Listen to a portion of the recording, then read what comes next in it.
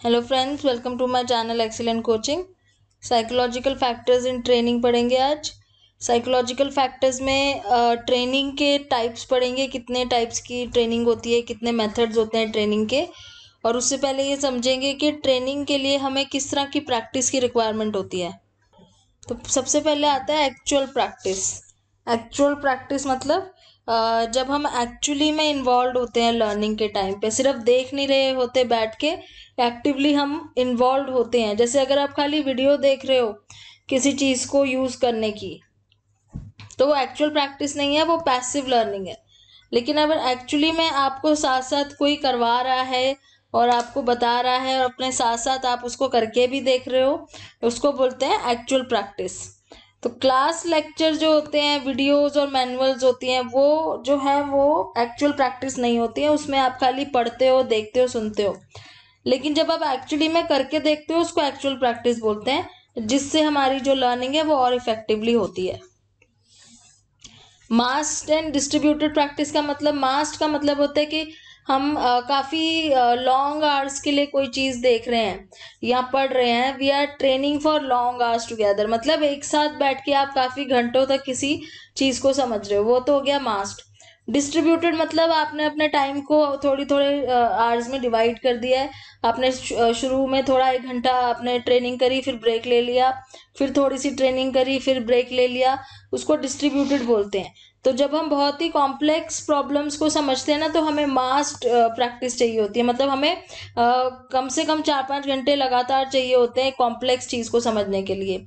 लेकिन अगर हम आ, सिंपल चीज़ें समझ रहे हैं जिसमें हमें लगातार समझने की ज़रूरत नहीं है तो उस टाइप की लर्निंग में हम अपने आर्स को डिस्ट्रीब्यूट कर सकते हैं। तो जैसे स्कूल लर्निंग में ज़्यादातर डिस्ट्रीब्यूटेड प्रैक्टिस की रिकमेंडेशन दी जाती है। डिस्ट्रीब्यूटेड प्रैक्टिस में क्या होता है कि आप दो घंटा पहले पढ़े, फिर ब्रेक हो गया, फिर दो घंटा पढ़े। ऐसे आपको एग्ज़ाम के लिए पढ़ने के लिए भी बताया जाता है, जो कि ज़्यादा इफ़ेक्टिव है। लॉन्गर आर पीरियड्स क्या होता है? उसमें एक तो आप थोड़े से वो हो जाते हो टायर्ड हो जाते हो। दूसरा ये होता है कि लॉन्गर आवर्स पढ़ने से आपका जो माइंड है, वो उसमें बहुत ज़्यादा, एक तो चीज़ें इकट्ठी हो जाती हैं बर्डन हो जाता है। तो हर चीज़ के लिए मास्ट प्रैक्टिस ठीक नहीं रहती। कभी कभी हमें डिस्ट्रीब्यूटेड प्रैक्टिस ज़्यादातर यूज़ करनी चाहिए। लेकिन अगर बहुत ही कॉम्प्लेक्स टास्क हैं, जिसको आप बीच में छोड़ के नहीं जा सकते तो उसमें आपको मास्ट प्रैक्टिस ही सूटेबल होती है। फिर आता है whole and part learning whole and part learning का मतलब है कि आप चीज़ों को टुगेदर होल याद करो एज अ होल या उसको ब्रेक करके पार्ट्स में करो। तो छोटे छोटे टुकड़ों में बांट के समझनी चाहिए चीज़ें या उसको एक साथ ख़त्म करके ही उठना चाहिए। इसको बोलते हैं होल एंड पार्ट लर्निंग तो ये डिपेंड करता है कि आप जो चीज़ लर्न कर रहे हो या जो आप समझने की कोशिश कर रहे हो, क्या वो चीज़ें टुकड़ों में बांटने लायक है? क्या वो कोई, जैसे आप मैथ्स का कोई डेरिवेशन कर रहे हो डेरिवेशन एक ऐसा सम होता है जिसको शुरू से लेके एंड तक करना होता है। ऐसा नहीं है कि हम उसको बीच में करके छोड़ दें, फिर हम सोचें कि अभी हम ब्रेक ले लेंगे, बाकी पार्ट बाद में करेंगे। फिर वो कनेक्शन टूट जाता है फ्लो टूट जाता है। तो कुछ चीज़ें ऐसी होती है जिसे हमें कम्प्लीटली ख़त्म करना होता है। और कुछ चीज़ों में आप पार्ट्स में डिवाइड कर सकते हो। जैसे इंग्लिश ग्रामर आप कर रहे हो तो आप उसको पार्ट्स में डिवाइड कर सकते हो कि दो चीज़ें आपने आज पढ़ी, दो चीज़ें कल पढ़ी, इस टाइप से। But when the task involve low organisation part training method is more efficient तो आपके टास्क में अगर बहुत ही हाईली ऑर्गेनाइज टास्क है आपका तो उसमें तो आपको कम्प्लीटली वो टास्क पूरा ख़त्म करना चाहिए। लेकिन अगर लो ऑर्गेनाइज्ड है या लो ऑर्गेनाइजेशन है टास्क में तो आप उसको पार्ट्स में भी डिवाइड कर सकते हो। तो लेकिन mostly psychologist they try to combine both the methods ऐसा नहीं है कि कोई एक मेथड दूसरे से ज़्यादा बेटर है। Then coming to transfer of training This refers to the extent that skills learned during training are transferred to the actual job. तो जो भी आप स्किल्स ट्रेनिंग में सीख रहे हो, वो आपके एक्चुअली आप अपनी जॉब में यूज़ कर रहे हो, जिसको बोलते हैं हम ट्रांसफ़र ऑफ़ ट्रेनिंग ये दो तरीके हो सकता है आइदर पॉजिटिव और नेगेटिव पॉजिटिव तब होता है जब ट्रेनिंग से आपकी परफॉर्मेंस में हेल्प मिलती है। कुछ चीज़ें ऐसी है जो आपको नहीं आती थी, आपने ट्रेनिंग ली और आपने उसको सीख लिया और आपने उसको अपनी परफॉर्मेंस में यूज़ करा। बट अगर नेगेटिव ट्रांसफ़र हो रहा है तो इसका मतलब है कि आपको जो आता था, आप वो भी भूलते जा रहे हो। तो सपोज़ आपको ऑलरेडी कुछ चीज़ें आती थी और आपको ट्रेनिंग में कुछ और चीज़ें सिखा दी and both the things are interfering with each other उसकी वजह से आप अपना पुराना काम भी जो अपने तरीके से करते थे, वो नहीं कर पा रहे हो। उसको बोलते हैं negative transfer there are many factors on which transfer training depends तो कुछ ऐसे फैक्टर्स हैं जिस पर ट्रांसफ़र ऑफ़ ट्रेनिंग डिपेंड करता है। एक तो ये है कि there is a close correspondence between behaviour and attitude taught तो जो चीज़ ट्रेनिंग में सिखाई जा रही है और आपका बिहेवियर अगर दोनों चीज़ों के बीच में क्लोजनेस है तो पॉजिटिव ट्रांसफ़र होने के चांसेस बहुत रहते हैं। सपोज़ आपका खुद का बिहेवियर भी ऐसा है कि आपको आ, आप कंप्यूटर्स पे काम करना ज़्यादा पसंद करते हो, आप आईटी का यूज़ करना ज़्यादा पसंद करते हो इंस्टेड ऑफ़ मैनुअल वर्क और आपको ट्रेनिंग भी इसी चीज़ की दी जा रही है कि आप कैसे सॉफ्टवेयर्स का यूज़ कर सकते हो। तो आपका एटीट्यूड और आपका बिहेवियर ट्रेनिंग से मैच कर रहा है कॉरेस्पॉन्ड कॉरेस्पॉन्ड कर रहा है। तो इसलिए आपको जो पॉजिटिव ट्रांसफ़र होगा, उससे आपको और चीज़ें अच्छी सीखने को मिलेंगी। There is a little similarity between training and environment and work environment, then negative transfer take place. कई बार ये होता है कि जो चीज़ की ट्रेनिंग दी जाती है, वो रियल लाइफ में एक्चुअल लाइफ में वो चीज़ अप्लाई करना बहुत ज़्यादा इम्पॉसिबल होता है। ट्रेनिंग में वो बहुत चीज़ें आपको ऐसी बता देते हैं जो सुन के लगता है बहुत अच्छा है, लेकिन एक्चुअली में जब आप उसको रियल लाइफ में अप्लाई करो तो वो पॉसिबल नहीं हो पाता। तो उस केस में नेगेटिव ट्रांसफ़र होता है, क्योंकि आप कोशिश करते हो उस चीज़ को अप्लाई करने की, लेकिन आप कर नहीं पाते हो। Negative transfer occurs when older skills conflict with newer skills तो ये वो रेट्रोएक्टिव इंटरफेरेंस की तरह ही है कि आपका कोई पुराना याद किया हुआ स्किल आपके नए स्किल में कॉन्फ्लिक्ट कर रहा है, आपको इंटरफेयर कर रहा है नई चीज़ें। जैसे प्रोएक्टिव एंड रेट्रोएक्टिव मेमोरी में होता है कि आपकी कोई नई चीज़ आपने समझ कोई नई लैंग्वेज सीखी तो आपको पुरानी लैंग्वेज में कन्फ्यूज़न हो रही है या आपने कोई पुरानी लैंग्वेज ऐसी सीखी है जिसकी वजह से आप नई लैंग्वेज नहीं सीख पा रहे तो ये इसको नेगेटिव ट्रांसफ़र बोलते हैं। Then comes the age older workers particularly over fifty years of age find it difficult to transfer learning तो हमने कई बार ऐसा सुना है कि जब बहुत ज़्यादा एज हो जाती है तो हम कोई नया स्किल सिखाएँ तो उनको बहुत टाइम लगता है सीखने में। तो ये भी एक पॉइंट यहाँ पे कह रहे हैं कि जो ओल्डर एज के जो हो जाते हैं एम्प्लॉयज़ उनको अगर आप नई टेक्नोलॉजी या नई चीज़ सिखाने की कोशिश करो अपने वर्किंग एनवायरनमेंट में तो उनको डिफ़िकल्टीज़ बहुत होती हैं उसको अडाप्ट करने में। आजकल कंप्यूटर सिमुलेशन का बहुत यूज़ हो रहा है। जैसे कि हम एक्चुअली आपको क्या किया जाता है कि आर्टिफिशियली क्रिएटेड एनवायरनमेंट होता है जिसमें आप, जैसे वर्चुअल रियलिटी होता है, जिसमें आपको ट्रेनिंग दी जाती है। तो आपको ऐसे लगता है कि आप रियल लाइफ उसमें ट्रेनिंग ले रहे हो तो आप, वो थोड़ा सा ट्रेनिंग को और ज़्यादा इफ़ेक्टिव और इंटरेस्टिंग बना देता है। जैसे हमने ये सुना हुआ है, देखा हुआ भी है, जैसे जिन लोगों को फ़्लाइट की ट्रेनिंग दी जाती है, उनको पहले कंप्यूटर गेम्स टाइप का, जो कंप्यूटर गेम टाइप का सिमुलेटेड एनवायरनमेंट होता है, जिसमें उनको बैठ के प्लेन को कंट्रोल करना, उड़ाना, वो सब की ट्रेनिंग दी जाती है। फिर एक्चुअली में उनको लेके जाते हैं रियल प्लेन पे ले जाके, फिर वहाँ पे उनको ईजी हो जाता है सीखना। फीडबैक क्या है? रिज़ल्ट जो आप लेते हो, जो फीडबैक आप ट्रेनिंग से लेते हो कि फाइनली उनको कैसा लगा है ट्रेनिंग का? फीडबैक लेने से क्या होता है कि आपको हेल्प मिलती है अपनी ट्रेनिंग मेथड्स को और इम्प्रूव करने की। तो it helps the training to in correcting and changing any inappropriate behaviour आप भी फीडबैक दे सकते हो ट्रेनिंग्स को। जब आप उनकी असेसमेंट करते हो ट्रेनिंग के बाद एक टेस्ट होता है असेसमेंट होती है, उसके बाद आप उनको फीडबैक देते हो। तो आप अपने लिए भी फीडबैक ले सकते हो, आप उनको भी फीडबैक दे सकते हो, जिससे वो अपने आप को इम्प्रूव कर सकते हैं। तो अब आते हैं ट्रेनिंग मेथड्स पे। बहुत सारी ऐसे ट्रेनिंग मेथड्स हैं जो आपने खुद ने भी कभी करे होंगे अपनी जॉब में या आपने सुने भी होंगे। एक होता है ऑन द जॉब ट्रेनिंग जिसमें आप जॉब भी कर रहे हो साथ साथ और आप ट्रेनिंग भी लेते जा रहे हो। जैसे आप अपने मेंटर से ट्रेनिंग लेते जा रहे हो, वो आपको काम सिखाता जा रहा है और ट्रेन भी करता जा रहा है। तो वो, उसमें क्या होता है कि आप जो है, वो जॉब भी कर रहे हो और साथ में सीख भी रहे हो। इट इज़ चीप चीप किस लिए है? क्योंकि एक्स्ट्रा एफर्ट नहीं लगाने पड़ते। साथ साथ आपका कंपनी का काम भी हो रहा है। सेपरेट ट्रेनिंग फैसिलिटी या सेपरेट कोई स्टाफ नहीं चाहिए होता ट्रेनिंग के लिए। और काम भी नहीं रुकता है। ट्रांसफ़र ऑफ़ ट्रेनिंग पॉजिटिव होती है क्योंकि आपको एक्चुअली वो सिखाया जा रहा है जो आप परफॉर्म कर रहे हो। तो इसमें वो चांस ये नहीं होता कि आपको बताया कुछ और और आपको करना कुछ और है। तो परफॉर्मेंस इसमें और बेटर ही हो जाती है क्योंकि आप एक्चुअली वर्क कर रहे होते हो। मोटिवेशन लेवल हाई होता है क्योंकि आपकी जॉब से रिलेटेड होता है। जो आप कर रहे हो, उसी चीज़ की ट्रेनिंग दी जा रही है। फीडबैक इमीडिएटली मिल जाता है क्योंकि आपकी परफॉर्मेंस उसी के साथ साथ ही दिखना शुरू हो जाती है। इसके कुछ कंसर्न्स हैं। कंसर्न्स ये है that workers and supervisor have to take time out of their regular work to train trainings तो अब जैसे आपका जो मेंटर है उसको अपना काम छोड़ के आपको ट्रेनिंग देना पड़ता है। तो यहाँ पे कभी कभी मेंटर जो है, वो इतना ज़्यादा रिस्पॉन्स नहीं देते हैं, इतना ज़्यादा इन्वॉल्व नहीं होते हैं। वो कोशिश करते हैं कि आपको काम दे के अपना काम करने चले जाए और वो आपको हेल्प नहीं करते हैं। तो ये कई बार एक्सपेंसिव भी हो जाता है, इस तरीके से प्रोडक्टिविटी डाउन जाने लगती है। Certain jobs giving an untrained employee access to hazardous machinery. कई बार रिस्क का भी बड़ा फैक्टर आ जाता है। कोई नया एम्प्लॉय आया उसको आपने डायरेक्टली उस चीज़ को हैंडल करने के लिए बोल दिया जो उसके लिए भी रिस्की है और दूसरों के लिए भी रिस्की है। तो जहाँ पे जैसे मशीन्स वगैरह का काम होता है केमिकल्स का काम होता है तो वहाँ पे ऑन द जॉब ट्रेनिंग बहुत रिस्की हो जाती है। Usually the trainers are current workers trainers कौन होते हैं? जो करंट वर्कर्स होते हैं, जो वहाँ काम कर रहे होते हैं। वो अपने जॉब में एक्सपर्ट होते हैं। पर अपने काम में एक्सपर्ट होना और दूसरे को ट्रेनिंग देने में बहुत फ़र्क है। आप अपने काम में बहुत एक्सपर्ट हो सकते हो, पर ज़रूरी नहीं है कि आप बहुत अच्छे टीचर या ट्रेनर हो। तो कई बार वो दिक्कत आ जाती है, जो जो मेंटर होता है, वो अपना काम तो बहुत अच्छा कर लेता है, लेकिन वो अपने ट्रेनी को ढंग से बता नहीं पाता है। और ट्रेनी को ये फील होता है कि उसको बताया नहीं जा रहा है, ढंग से सिखाया नहीं जा रहा है। तो ये कुछ कंसर्न्स है ऑन द जॉब ट्रेनिंग के। फिर आते हैं वेस्टिब्यूल ट्रेनिंग तो वेस्टिब्यूल ट्रेनिंग में क्या होता है? अ सिमुलेटेड वर्क प्लेस अलग से एक environment work place environment separate training facility बनाई जाती है। जो सिमुलेटेड टाइप का होता है एंड इसको वेस्टिब्यूल ट्रेनिंग कहते हैं। तो यहाँ पे इक्विपमेंट्स वगैरह पड़ी होती है जो आपने एक्चुअली में जाके यूज़ करनी है अपने काम में।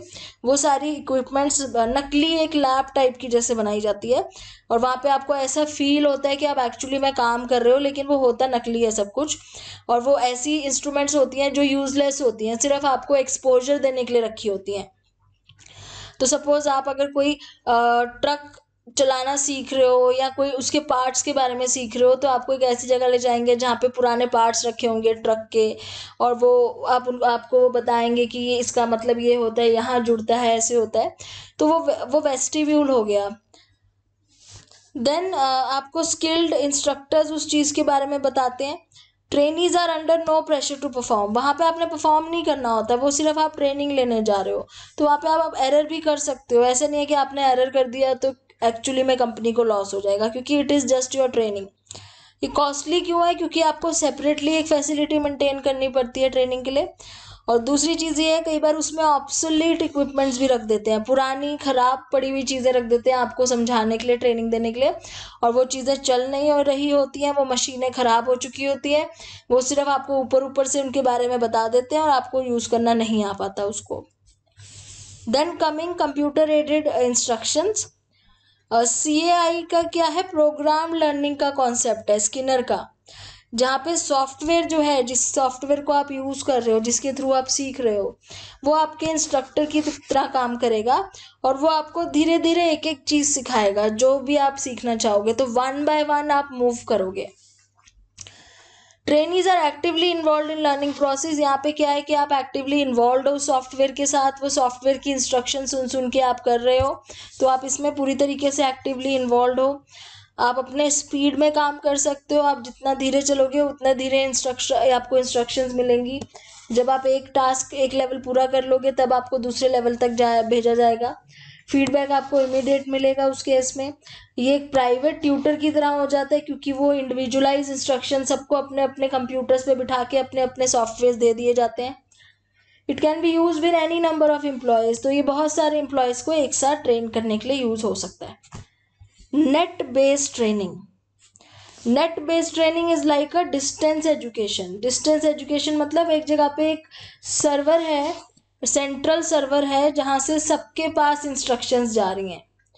वो सी आई ए की तरह ही होता है। एक ही नेट सर्वर एक ही जगह से सारे जितने भी लोग हैं, सबके पास कॉमन इंटरनेट या सर्वर के थ्रू इंस्ट्रक्शंस जा रही हैं। और वो सारे अपने अपने पर्टिकुलर जगहों पे बैठ के ट्रेनिंग ले रहे हैं, जैसे हमने कंप्यूटर एडेड में पढ़ा था।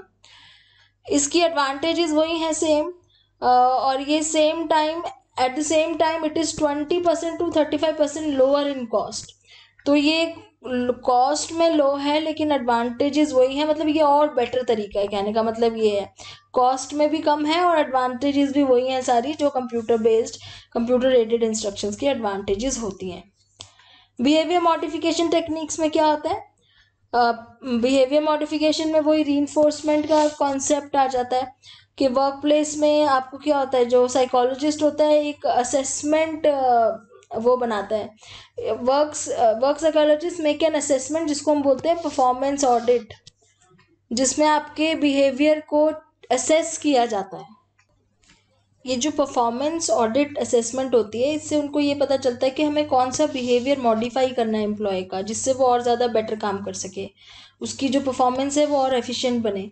और उसी के बेस पे एम्प्लॉयज़ आर रिवॉर्डेड उनको रिवॉर्ड्स दिए जाते हैं एम्प्लॉयज़ को।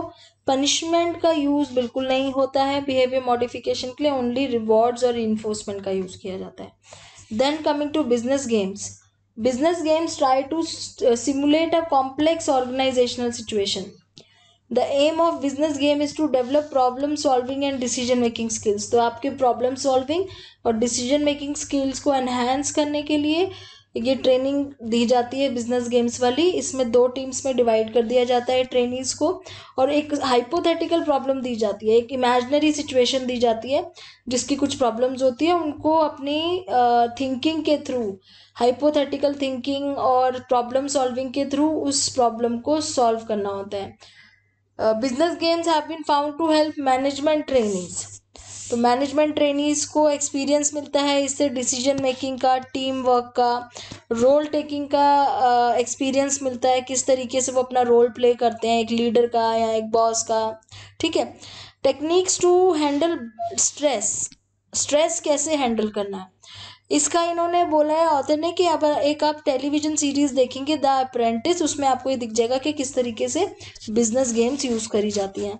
Then comes role playing role playing में उनको एक पर्टिकुलर रोल दे दिया जाता है, उनको वो रोल एक्ट करना होता है, उनको ये मानना होता है बिलीव करना होता है कि वो एक सिचुएशन में है और वो वो अपने रोल को प्ले करेंगे उसमें। और उस रोल को प्ले करते हुए वो प्रॉब्लम्स को सॉल्व कर लेंगे। तो वो एक रोल प्ले एक मेक बिलीव प्ले की तरह होता है, जिसमें ट्रेनीज अपने आप को उस रोल में ला के उस पर्टिकुलर प्रॉब्लम को सॉल्व करने की कोशिश करते हैं। देन डाइवर्सिटी ट्रेनिंग में क्या होता है? इस चीज़ की ट्रेनिंग दी जाती है कि जितने भी अलग अलग डाइवर्स जगहों के लोग हैं कंपनी में चाहे वो एक एथनिक ग्रुप अलग हो चाहे वो किसी अलग जेंडर के हों उन सबको किस तरीके से रिस्पेक्ट करना है और कैसे उन, उनके साथ आपको एक कॉमन बैकग्राउंड बना के चलना है। तो एथनिक एंड कास्ट प्रिजुडिस जो होता है किसी किसी कंपनीज़ में हमने देखा है कि आ, कई बार कास्ट प्रिजुडिस बहुत होता है कि वो उस कास्ट के लोग हैं उनसे उनके साथ नहीं बैठना है उस कास्ट के लोग हैं। सेक्सुअल डिस्क्रिमिनेशन बहुत होता है कि जो वुमेन है उसको इतना ज़्यादा हाईली रिस्पेक्टेबल वे में नहीं देखा जाता है। So diversity management to reduce ethnic prejudice and sexual discrimination ये सब चीज़ें कम करने के लिए डाइवर्सिटी ट्रेनिंग दी जाती है और वहाँ पे उनको ये समझाया जाता है कि अपने आप को दूसरे माइनॉरिटी ग्रुप की तरह रख कर देखो। अपने आप को उस पर्सन की जगह रख के देखो जिसके साथ डिस्क्रिमिनेशन हो रही है। और ये लेक्चर्स के थ्रू वीडियोस के through role playing sensitivity training इन सब के थ्रू किया जाता है, जिससे उनको ये समझ में आता है कि हमें वर्क प्लेस पर डिस्क्रिमिनेशन बिल्कुल भी नहीं करनी चाहिए। फिर आता है करियर डेवलपमेंट एंड प्लानिंग इसमें वो स्टेज वाइज करते हैं, जैसे हमारी लाइफ में ये तीन स्टेजेस होते हैं, जब हम अपने करियर के बारे में सोचते हैं। एक होती है इस्टेब्लिशमेंट स्टेज जो हमारे यंग एडल्टुड में होती है, कि हमने अपने आप को कहीं इस्टेब्लिश करना है अच्छे करियर में। दूसरी होती है मेंटेनेंस स्टेज जहाँ पे अपने आप को हमने मेंटेन करना है और आगे बढ़ना है। और लास्ट में होती है डिक्लाइन स्टेज जब हम फाइनली रिटायरमेंट की तरफ़ जा रहे होते हैं। तो कंपनी की भी एक रिस्पॉन्सिबिलिटी होती है कि हमारी ये जो ट्रांजिशनल स्टेजेस होती हैं करियर में, उसी के अकॉर्डिंग हमें अपॉर्चुनिटीज़ मिले। तो अगर कोई इस्टेब्लिशमेंट स्टेज में है तो उसको उस टाइम पे सीखने को ज़्यादा से ज़्यादा चीज़ें मिले, वो अपने स्किल्स इम्प्रूव कर सके, वो लर्न कर सके, उसको अलग अलग टाइप के काम देने चाहिए ताकि वो ज़्यादा से ज़्यादा सीख सके। मेंटेनेंस स्टेज पे उसको अपने आप को सेल्फ एक्चुलाइज करने का मौका देना चाहिए, अपने आप को प्रूफ करने का कि हाईएस्ट अपने पोटेंशियल को शो करने का। और डिक्लाइन स्टेज पे एम्प्लॉयज़ को काउंसलिंग सर्विस या दूसरों की हेल्प करना स्ट्रेस से कोप कैसे करना है इन सब चीज़ों की ट्रेनिंग देनी चाहिए।